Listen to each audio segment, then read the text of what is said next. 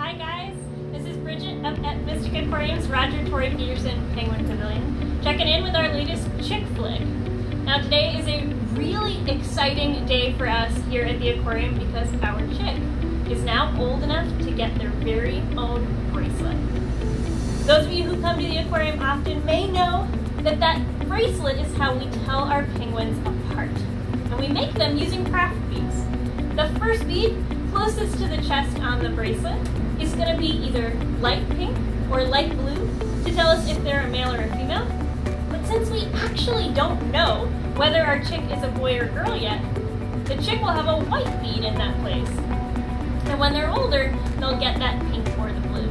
The next four colors are the chick's temporary name. And this chick is going to get the colors purple pink.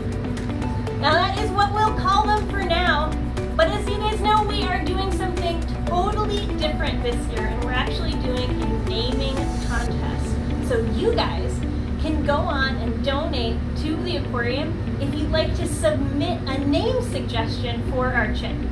And since this chick is the 59th penguin to come to Mystic Aquarium, that is how much we're asking for in donation if you'd like to submit your suggestions. Now we're gonna go ahead and get my mask put on so we can get the bracelet on that chick.